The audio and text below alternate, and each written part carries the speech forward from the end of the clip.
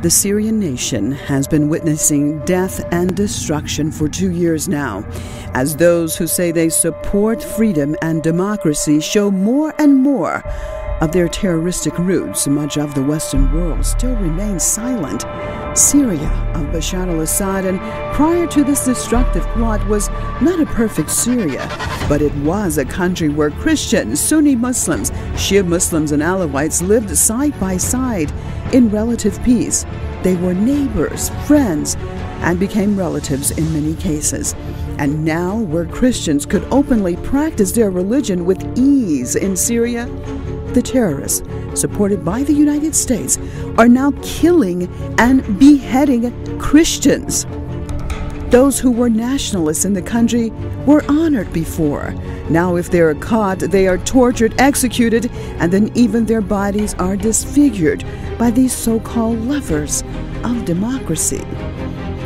The Syrian military has always been respected in Syria. However, these terrorists not only kill the defenders of the country, but also cut open their bodies and eat their organs.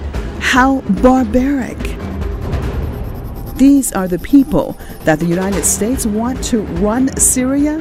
So unbelievable that even conservative American talk show host Glenn Beck has pointed out that there is something wrong with Washington's policies when these are the kind of people that the United States support. America, I, I, I am I'm begging you.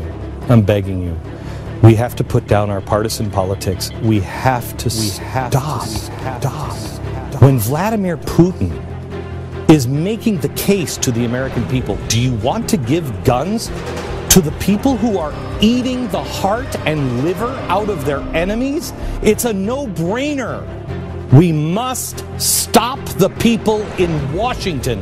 We've got to stop intervening in the wars in the Middle East. What can the United States and the United Kingdom gain from supporting individuals who have no respect for human life and think that all other creatures are below them?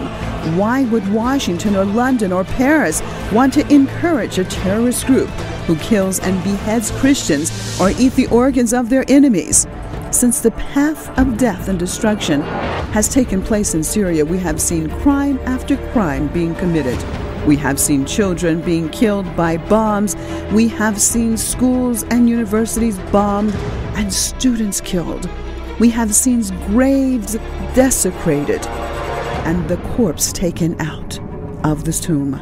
We have seen whole families being wiped out.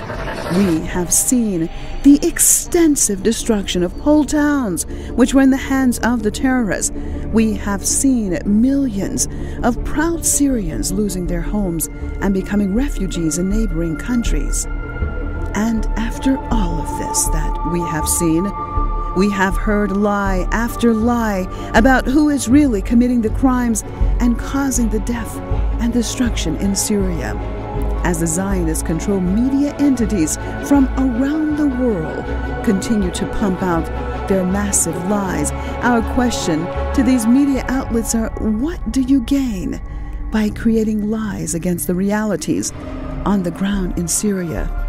What do you gain? By ignoring the loss of life on the ground and the spilling of the blood by the terrorists.